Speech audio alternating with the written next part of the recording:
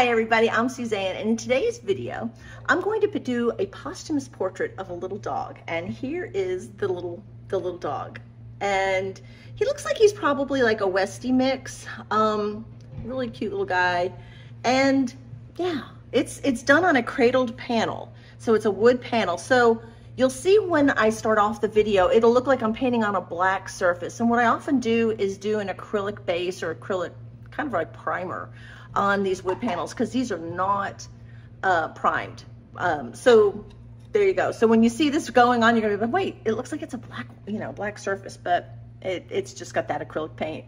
So enjoy the video. Give me a thumbs up if you like it and know that this is going to be a quick one. So let's go ahead and jump into this little white dog's portrait.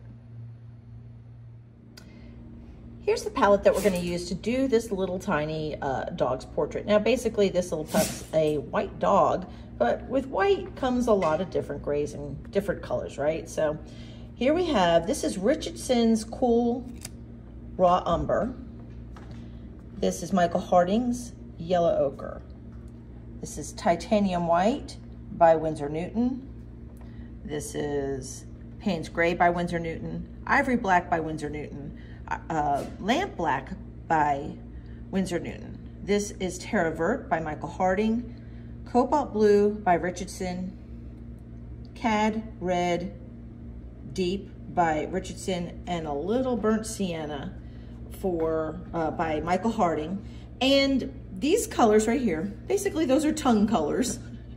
and all these other colors are basically going to be mixing up the color of the dog. So it is a white dog, yes, but there's gonna be lots of grays going on. So sit back and let's make some gray colors. So here we go, mixing some grays. And you can see basically I have the, the black and the white and the um, Payne's gray, but I'm adding here a little bit of yellow, the yellow ochre, a little bit of the Italian green umber. So I have a lot of different grays going on here and I'm just trying to mix them up. Here I'm just kind of mixing some tongue color, but uh, before you know it, we're gonna have a bunch of color mixed up.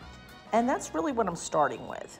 And I just do a very loose sketch, and even when I start off a sketch, I, I sometimes make mistakes. You can see I erased that tongue, and I'll be putting it back in, but I'm, you know, just very loosely. But make no mistake, I am sticking with the yellower colors on the left side of the dog and the bluer colors on the right side of the dog um, because that's how I see it in my reference.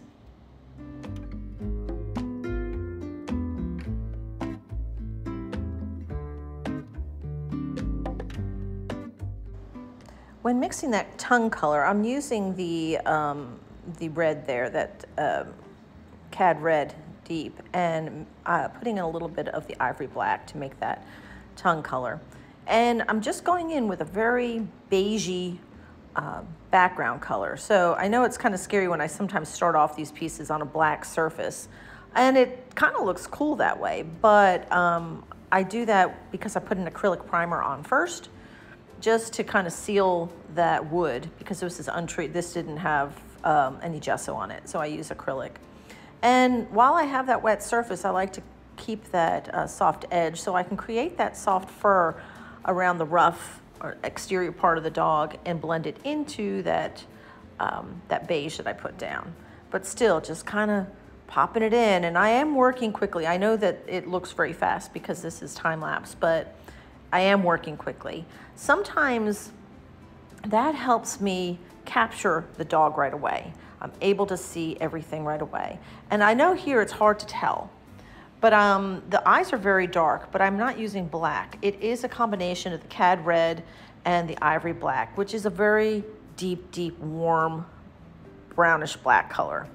So you'll be able to see a lot of the um, things, the details in the eyes, like the um, um, pupil and the eyelids, etc. All of it will show up eventually. But I am using a smaller pointed round, and sorry about my head getting in the way here um, bad camera angle here for you, but I wanted to show you at least some of the detail as going into making the eyes. Um, but I am using a smaller pointed round brush for the detail.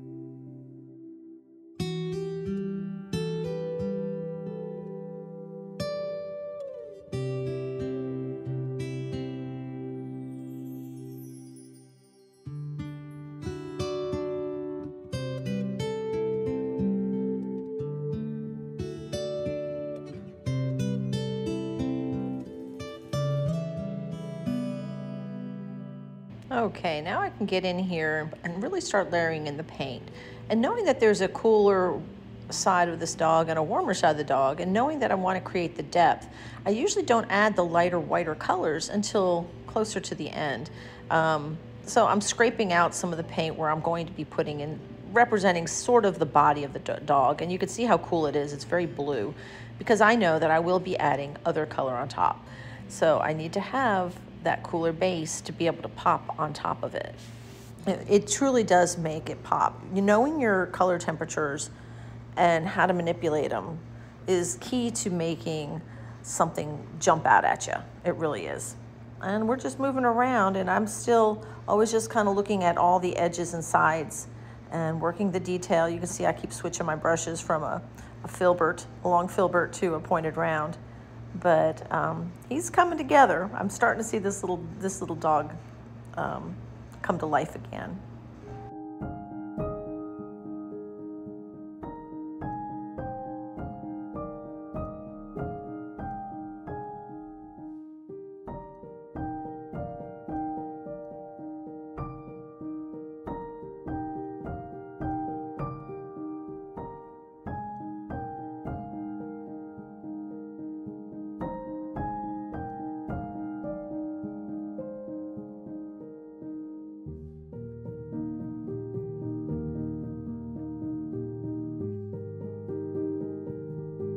Jumping into some of the detail on the nose and muzzle area. And, you know, being that he's, the angle that the photograph was taken was a little bit of an awkward angle because the person who took the photograph was looking down on top of him. So the nose will look especially big, um, but it's kind of cute and it is a fun photograph that um, was provided for this painting. And uh, yeah, just getting the edges of the tongue, making sure I know where the teeth go, the nostrils, etc. I'm just kind of popping all the all the little details in and, and suggesting where the teeth are. Now, when you're doing teeth, folks, in dogs, please don't do them bright white, unless, of course, they truly are bright white. The closer inside the mouth, you can see those teeth that I represented there are just that gray color. Um, and being a little terrier with a, you know, sometimes when a white dog gets wet around the muzzle, they will get that yellowing or kind of uh, darker hairs. And that's, you know, it's part of who this little guy was. And I really wanted to include that too but you can tell I'm getting closer to the end. Threw some eyelashes in on the little dog, and it always comes to life when I add the shine in the eyes. That's the funnest part right there, folks, is making those eyes come to life.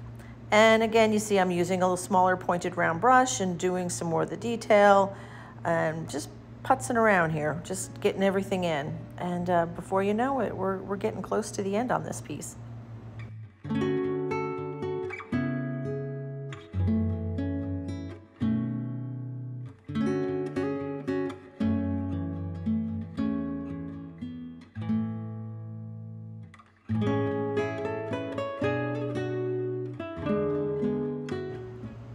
We're starting to add some of the last detail and I'm usually going in with the whitest whites at the very end. And I'm sorry again about my big old head getting in the way, but you can see that I'm lightening up some of the areas. And I do a lot of turning of the canvas because I know my hand moves a, a certain way better. And so I'll flip that, that um, substrate over and over and over again uh, till I get all the little details and you can see just popping, popping it here, popping it there, but making sure that I'm keeping track of my reference and making sure I'm on track. So again, folks, I hope you enjoyed today's video. And if you did, give me a thumbs up. And if you have any questions, uh, maybe uh, ideas on how I can keep my big head out of the, out of the shot, uh, leave it in the comments section. I'd love to hear from you. And again, we'll see you on the other side.